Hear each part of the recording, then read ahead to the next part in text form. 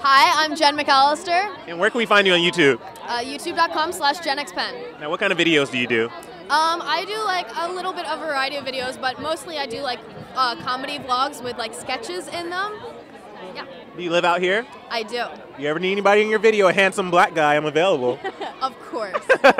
now, why are you excited about the Expelled premiere? I'm excited because I feel like there's no other movie that is doing anything like this where they're depending completely on social media. yeah, no, uh, that's so exciting. I'm also excited because a ton of my friends are in this movie, and I'm also excited because it's an Awesomeness TV movie, and I love Awesomeness TV. Now, were you a bad, like, I was going to say bad influence, were you a bad person in school? Oh my gosh, no, I was not actually. I was um, kind of to myself, and I also never went to the principal's office. Like I've never been there before, so I never got in trouble in school. You wouldn't be expelled. So this movie just doesn't apply to you in that way. And no, not at all. Shows you what not to do. yeah, pretty much. Hi, I'm Jenn McAllister, and you're watching Chasing LA.